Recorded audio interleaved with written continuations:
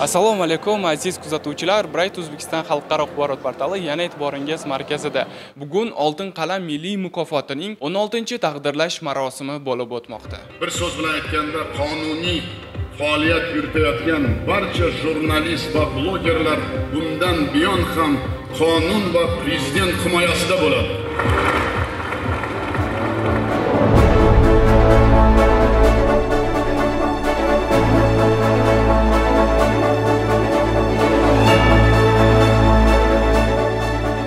Qadrli hamkasblar oltin qalam 16 milliy mukofoti uchun xalqaro tanlov ishtirokchilari xonimlar va janoblar. Siz azizlarni an'anaviy tarzda o'tkazib kelinayotgan oltin qalam 16 milliy mukofotining tantanali taqdirlash marosimida sizlarni ko'rib turganimdan shu fursatdan foydalanib jahon matbuoti erkinligi kuni shuningdek barchangizga o'zimning chuqur hurmatim va ezgu tilaklarimni bildirishdan mamnunman. Eng yaxshi jurnalistik material uchun televideniye uchinchi o'rin. Ruxsor tv telekanal muharriri farg'ona viloyati mamasidiqova maftuna.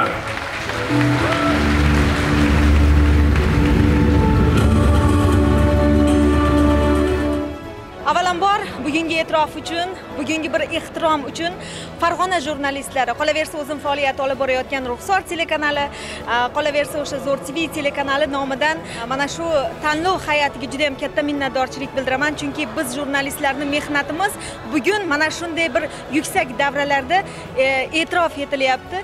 Bu o'ylayman bu mukofot shunchaki mukofot emas. Bu bizni zimmamizdagi mas'uliyatni ikki karra qolaversa bir o'n karra oshiradigan mukofot deb o'ylayman va oldinda mana shu davlatimiz tomonidan amalga oshirilayotgan islohotlarni keng targ'ib qilishda mana shu taraqqiyot yo'lida yangi o'zbekistonni buyuk kelajagini barpo etishda xalqimiz bilan yonma yon yashashga biz har doim tayyormiz.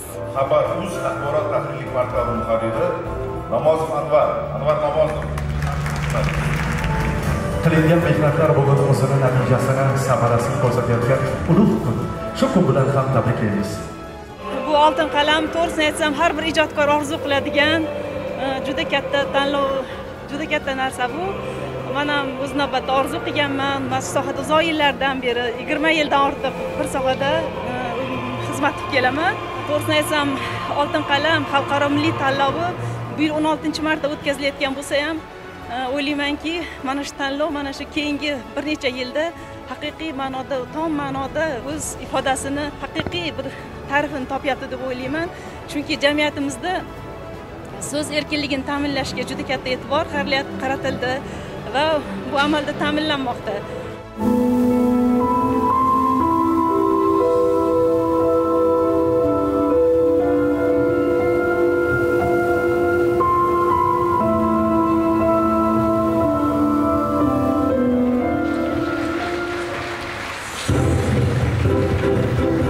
Hozir mana o'zi televideniya yo'nalishi deb monitorda rolik qo'yilgandan o'zi yuragimga kuylashni boshladi-da to'g'risi.